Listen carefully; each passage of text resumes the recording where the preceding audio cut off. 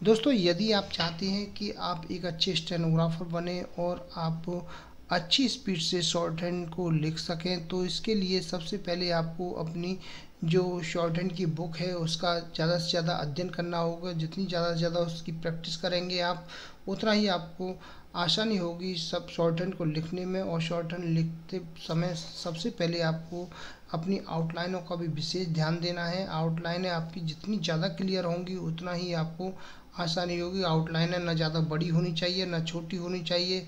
आउटलाइनें सही होनी चाहिए, सही दिशा में बननी चाहिए, जिससे कि आप जब भी उसको ट्रांसलेट करो हिंदी में तो आप आसानी से उन शब्दों को पहचान पाओ और आपकी गलतियाँ होने की संभावना भी कम रहे।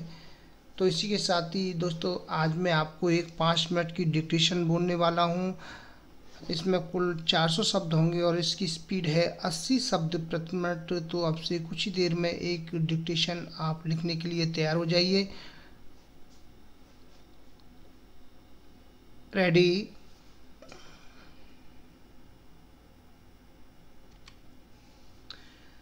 महोदय, योजना पर वाद विवाद सच्चे अर्थ में एक राष्ट्रीय विचार विमर्श का अवसर है। और मुझे प्रसन्नता है कि सदस्यों ने इसे गंभीरतापूर्वक लिया है। हालाँकि इसकी आलोचना भी बहुत हुई है। ऐसी आलोचना सुनने के हम अभ्यस्त हो चुके हैं। पहले इसका लक्ष्य योजना का विचार ही हुआ करता था। सौभाग्य से वह बात अब नहीं रह गई है। और हम विकास की ऐसी सीढ़ी पर पहुँच चुके हैं, जब मुझे आशा है कि सभी दल योजना के विचार का अनुमोदन करते हैं। कुछ ने योजना के कुछ अंशों का अनुमोदन किया है और अपनी आलोचना अनेक कार्यक्रम को लागू करने के तरीके के लिए सुरक्षित रखी है। कई सदस्य ऐसे हैं जो योजना के हमारे ढंग को बिल्कुल पसंद नहीं करते हैं। पैराग्राफ। महोदय, अब स्पष्ट है कि हम में से प्रत्येक व्यक्ति के रूप में नहीं, बल्कि दल के प्रतिनिधि के रूप में कुछ विचारों के पक्ष में हैं और कार्य संचालन के किन्हीं विशेष तरीकों को पसंद करता है। हमने पर्याप्त विचार विमर्श और सोचने समझने के बाद यह निश्चय किया है कि हमें किस प्रकार का योजना आयोग बनाना चाहिए और आयोग को किस ढंग से काम करना चाहिए।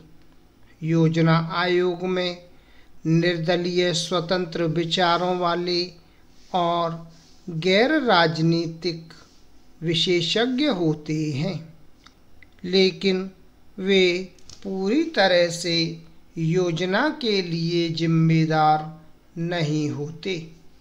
योजना का निर्माण प्रत्येक राज्य के विभिन्न स्तरों के लोगों के साथ अनेक विचार विनिमयों के आधार पर होता है और अंततः उसे अंतिम रूप देने के लिए राष्ट्रीय विकास परिषद में प्रस्तुत किया जाता है, जिसके अंतर्गत सभी मुख्यमंत्री होते हैं, जिनमें अनेक अन्य दलों के होते हैं।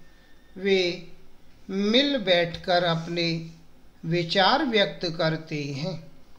यह ठीक है कि इन बैठकों में मतभेद भी होता है, जो सामान्यतः योजना के तरीकों को लेकर नहीं, बल्कि अधिकांशतः इस पर होता है कि किस राज्य को कितना पैसा मिलना चाहिए।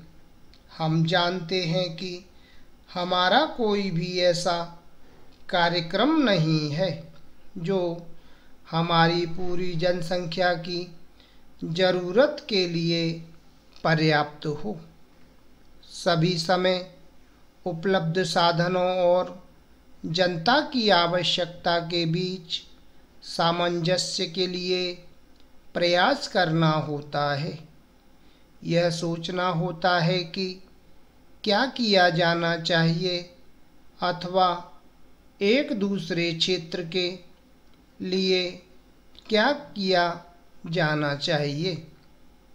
कुल मिलाकर यह योजना अगले चार वर्षों के लिए प्रगति का घोषणा पत्र है। पैराग्राफ। महोदय, दुर्भाग्य की बात यह है कि देश में सभी लोग यह मानते हैं कि शिक्षा में प्रगति नहीं हुई है। शिक्षा पद्धति में आमूल चूल परिवर्तन नहीं हुए हैं। लेकिन फिर भी इस दिशा में कुछ किया नहीं जाता है। फुल स्टॉप दोस्तों, ये थी हमारी पाँच मिनट की डिक्टेशन उम्मीद है आपको हमारा वीडियो पसंद आया होगा। वीडियो के नीचे कमेंट बॉक्स में लिखकर ज़रूर भेजिएगा। एक नए वीडियो के साथ बहुत जल्दी फिर से हाजिर होंगे। तब तक के लिए जय हिंद दोस्तों।